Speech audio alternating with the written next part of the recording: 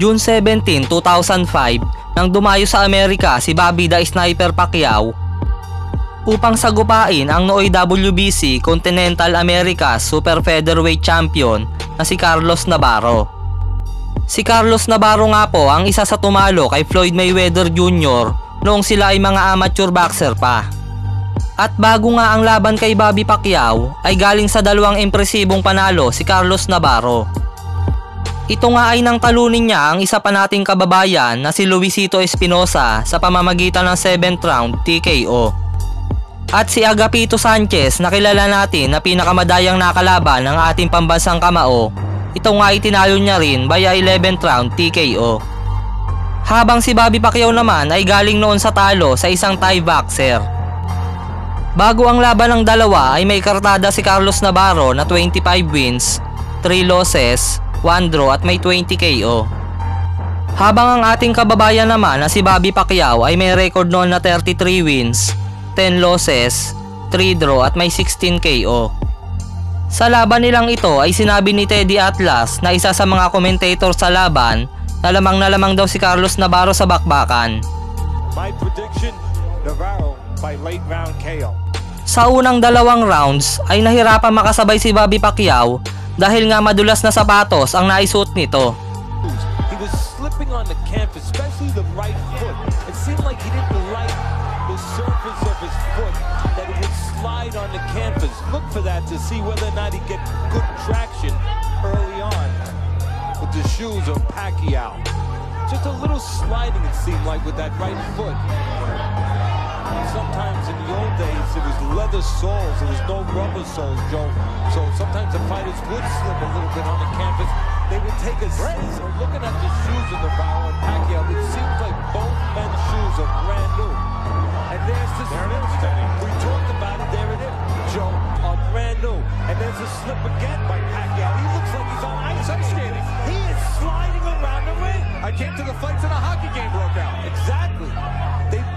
like they have new shoes. I never liked a fighter wearing new shoes the night of the fight. I wanted him to. Teddy, I'll tell you, I've sat next to you for a few years now and have been awed by some of your analysis, but to pick that up just on the introductions of the slippery shoes and for it to come to fruition so quickly in this fight, it's amazing. Something to watch for throughout 12 rounds of the skating we'll have. 12 round fight, by the way, because there is a souvenir up for grabs.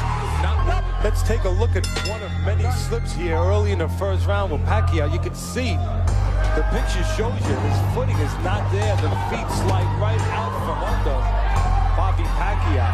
And it was very interesting after that first round because referee Jon Schorle came over to the corner of Bobby Pacquiao and he said to Justin Fortune, the former heavyweight who fought Lennox Lewis and is the lead trainer for Pacquiao here in the United States when he comes over the big pond.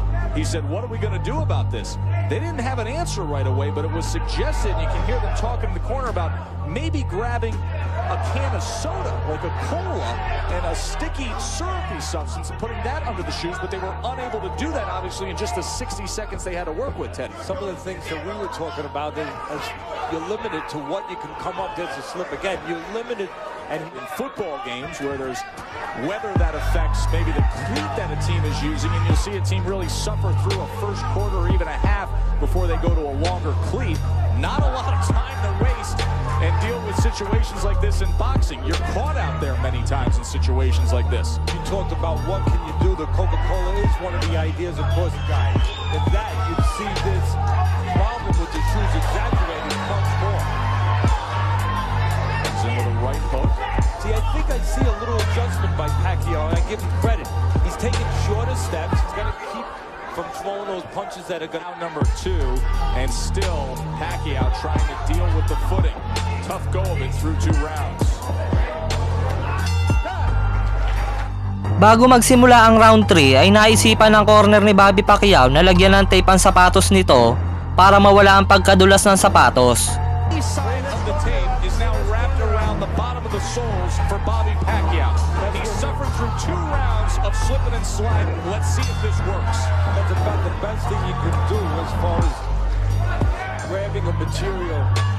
from a physical side and trying to help the situation. That's about the best thing you could come up with. Probably what I would have tried. Teddy, they were able to get the front of the foot. They weren't able to get the heel Pulling apart. Actually, he had pulled himself together. Veteran Carlos Navarro, he was knocked out by Nate Campbell in 2002, took all of 2003 off, and now three straight wins as he comes into this fight against Bobby Pacquiao. And even though it's a good nip and tuck fight, Navarro in spots showing that he's a little sharper. Again, as I mentioned earlier, has more options. He can count Pacquiao, but for the most part is a little one-dimensional, walking straight forward. Great amateur career from Navarro. Can see a cut under the right eye of Bobby Pacquiao now. Happened moments ago on that exchange in the middle. I don't know if it was from a clash. We'll get a ruling. Matapos mapuruhan sa bodega sa round 6, ay biglang ang napaluhod si Carlos Navarro. Ngunit imbis na bilangan ay pinagpahinga pa ito ng referee dahil low blow daw ang suntok ni Bobby Pacquiao.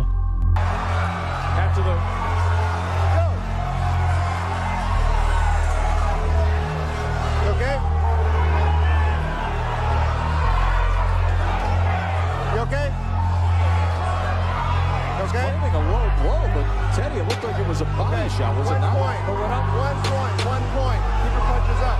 Boy, the referee is acting as though he, he thinks it's a low blow. He's taking the Navarro's word for it. Navarro may have influenced the referee into taking a point away from Pacquiao. We'll get a chance to look at that in the replay. I know he transitionalized to become an electrician when his boxing career started to become stale, but I didn't know he also took acting lessons. We're gonna need to Amazing. take a look at that. I can't wait to see it. Neither can our fans, I'm sure. Let go. Now, there's one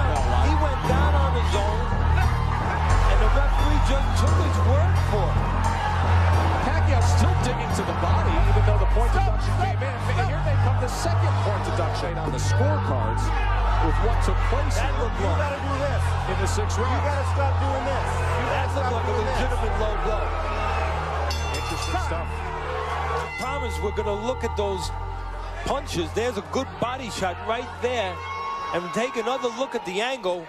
A good, clean body shot to the solar plexus, and Navarro goes down. The referee made a mistake. Pagdating ng round 7 ay hindi na nga pinagbigyan ni Bobby Pacquiao si Navarro at nagpaula na nga ito ng 1 to sawan suntok sa kalaban.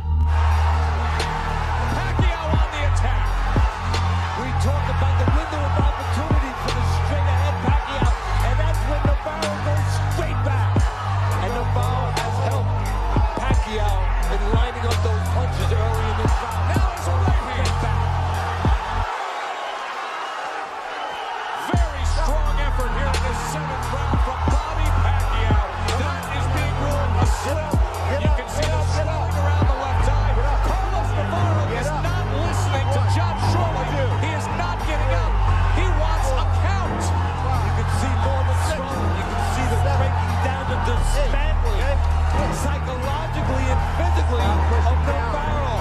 He requested that to be scored a knockdown. He wanted the extra time. You can say he's acting like a veteran who knows himself, he knows he's in trouble, and he's trying to get himself out of it by using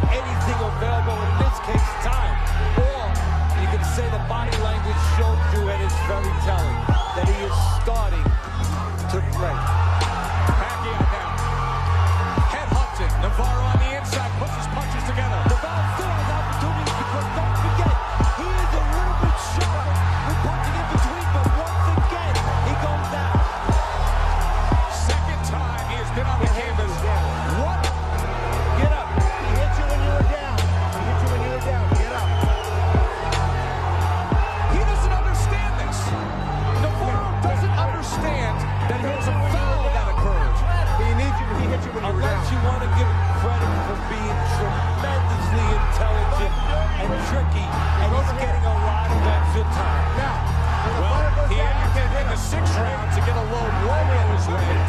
And could he be playing possum here? He got a lot of extra time. That's all I can tell you. Landed a right hand coming still, off of and it. he's still the better guy technically, so that means he can punch in between some of these punches of Pacquiao. But right now. Pacquiao, the stronger, more determined that counts more than Let go. Let go, Jose. Bobby Pacquiao's got lots some momentum. What an interesting seventh round it's been. Still of twists and turns. Still opportunities, Joe, for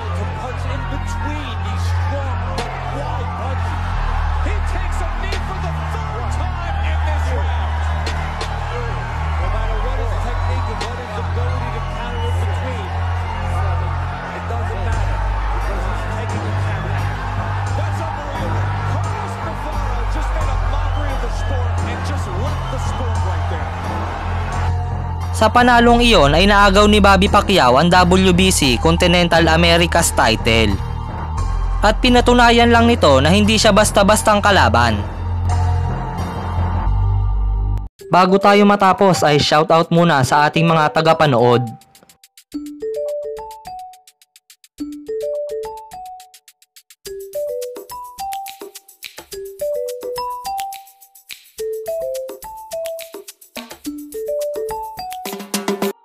Hanggang dito na lang mga boss. Sana nagustuhan nyo ang ating video.